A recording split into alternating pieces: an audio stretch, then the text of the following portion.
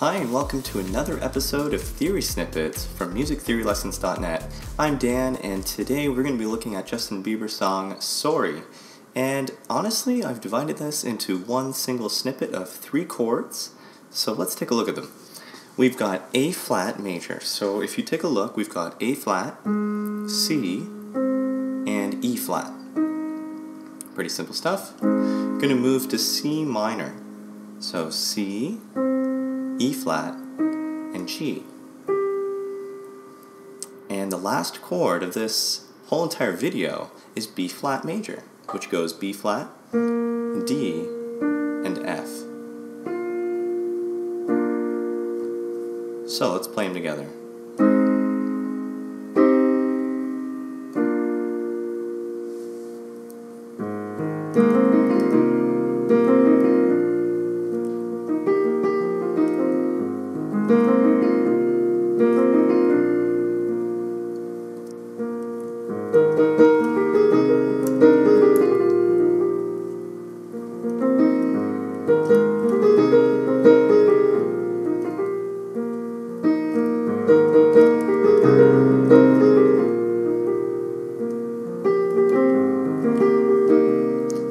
Actually added the uh, B flat for the minor 7.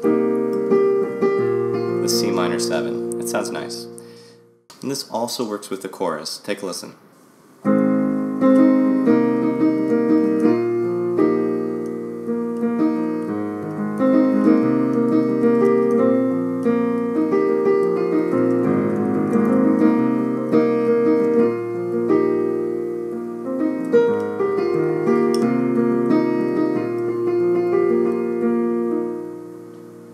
Now the melody notes I'm just playing by ear.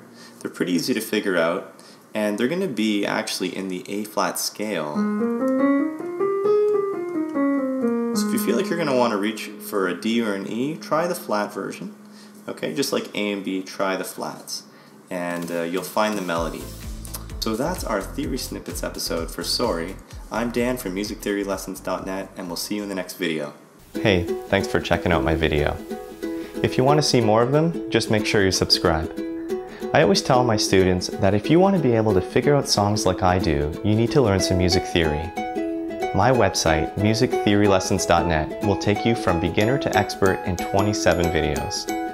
To top it all off, I will teach you how to read music in my free three-part video series. And you can sign up for that right here.